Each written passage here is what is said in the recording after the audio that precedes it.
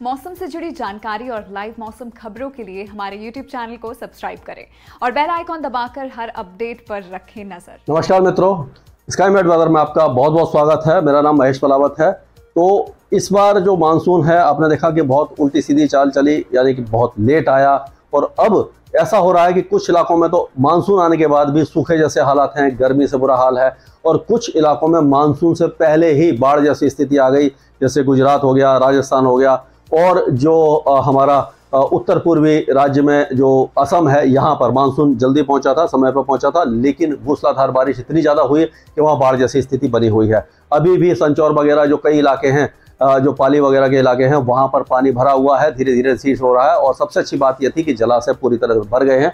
कुछ अच्छा हुआ, कुछ बुरा हुआ और मानसून यूजुअली क्या होता है कि अब 24 तारीख है 25 तारीख 25 तारीख के आसपास जो है वो मानसून उत्तराखंड और दिल्ली के आसपास पहुँच जाता है, उत्तर प्रदेश और ये गुजरात, ये सारे इलाकों को कवर कर जाता है। लगभग इस समय मानसून यहाँ पहुँच जाना चाहिए था, लेकिन अभी भी मानसून थोड़ा सा पीछे बना हुआ है तो ये जो इलाके हैं, ये इस तरह से कवर हो जाने चाहिए थे, यहाँ पर मानसून आ जाता है यूजुअली 25 जून को।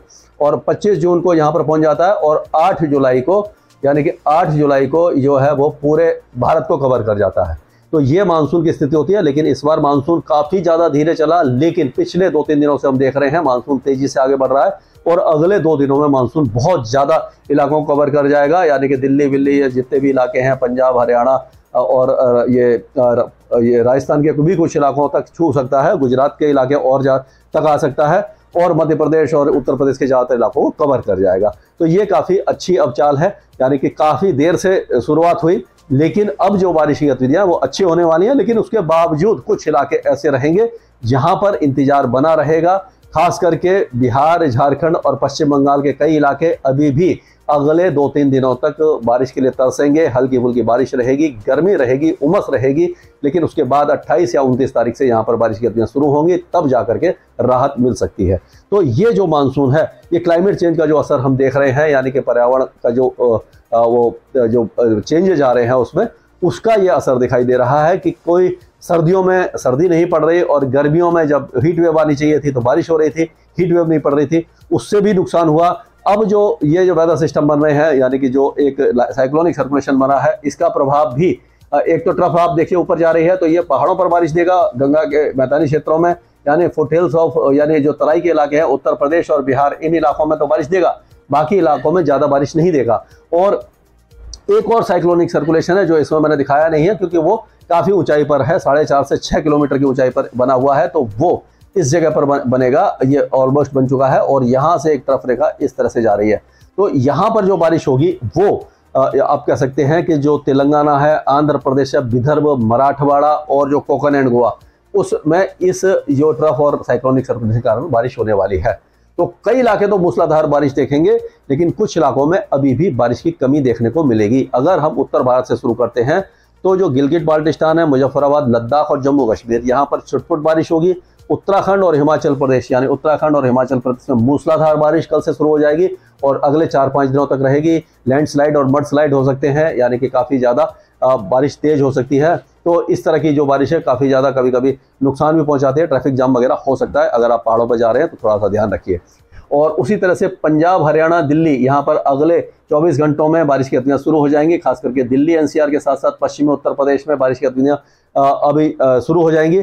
आज से ही शुरू हो सकती है कल से और ज़्यादा बढ़ जाएगी और मानसून एक दो दिनों में ही दिल्ली पहुँच जाएगा। सत्ताईस तारीख तक की हमें उम्मीद है, जो नॉर्मल डेट है उसी के आसपास एक दो दिन आगे पीछे, मानसून दिल्ली में दस्तक दे देगा। पंजाब और हरियाणा में बारिश शुरू हो जाएगी, लेकिन जो पश्चिमी ज़िले हैं, पंजाब और हरियाणा के, वो थोड़े से अभी बारिश में पीछे रहेंगे। जैसे कि आप कह सकें फिरोजपुर भटिंडा तरन तारण अवोल अवोहर पजलिका गुरदासपुर और अमृतसर, पठानकोट, इन इलाकों में बारिश कम होगी। उसी तरह सिरसा, फतेहाबाद वगैरह जो इलाके हैं, ये और जो उत्तर पश्चिमी जो राजस्थान है श्री गंगानगर हनुमानगढ़ चुरू बीकानेर ये सारे इलाके अभी अगले दो तीन दिनों तक बारिश नहीं देखेंगे। अट्ठाईस, उनतीस तारीख से यहाँ पर बारिश गतियाँ शुरू हो जाएँगी और लगातार फिर बारिश होगी। बहुत ज़्यादा तेज़ नहीं होगी, लेकिन फिर भी बारिश होगी। तो ये इसको कवर किया हमने। अब बात करते हैं पश्चिमी उत्तर पश्चिमी राजस्थान की। जैसलमेर, जोधपुर, बाड़मेर, सिरोही, पाली, राजसमंद, डूंगरपुर, ये जो इलाके हैं, यहाँ पर बारिश अभी नहीं है। जून के महीने में बहुत कम चांसेज बन रहे हैं। उसी तरह सौराष्ट्र कच्छ में भी बारिश की कमी रहेगी, लेकिन पूर्वी राजस्थान में बारिश अच्छी रहेगी।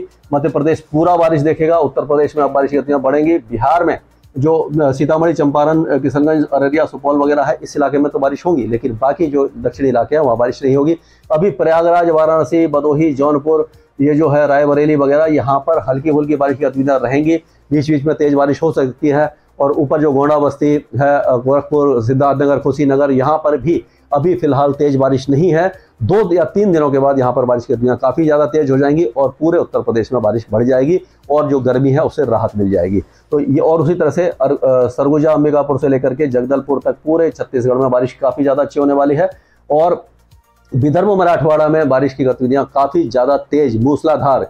यानी 50, 60, 70 मिलीमीटर की बारिश कई इलाकों में हो सकती है। नागपुर अकोला वाशिम भंडारा गोंडिया चंद्रपुर ये सारे इलाके देखेंगे। हिंगोली लाटूर जलना परवनी और औरंगाबाद से लेकर के ये ओस्मानाबाद और सांगली सतारा कोल्हापुर इन इलाकों में भी तेज बारिश हो सकती है।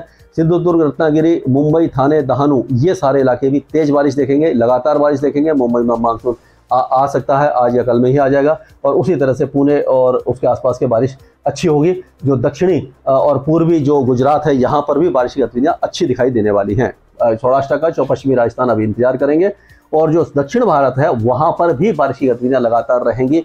और ये जो यहाँ से जो आप ये देख रहे हैं हवाएँ आ रही हैं ये लगातार मॉइस्चर दे रही हैं। तो इस इलाके में ये ट्रफ है एक यहाँ पर जो साइक्लोनिक सर्कुलेशन यहाँ से ट्रफ है तो ये पूरा जो इलाका है इस इलाके में अच्छी बारिश की संभावना बनी हुई है।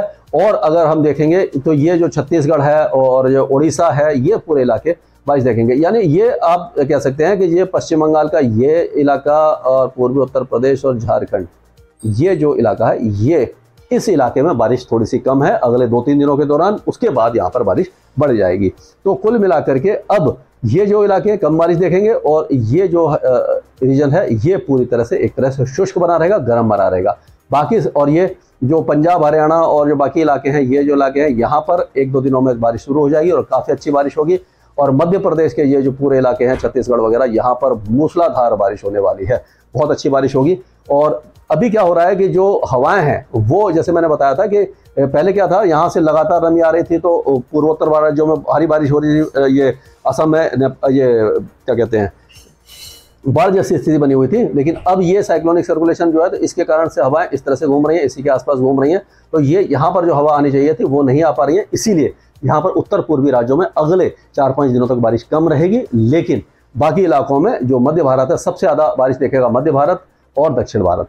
और बाकी जो उत्तर भारत है, पहाड़ है, वहाँ पर भी मूसलाधार बारिश की संभावना नज़र आ रही है। स्काईमेट वेदर में अभी के लिए मौसम से जुड़ी जानकारी और लाइव मौसम खबरों के लिए हमारे YouTube चैनल को सब्सक्राइब करें और बेल आइकॉन दबाकर हर अपडेट पर रखें नज़र।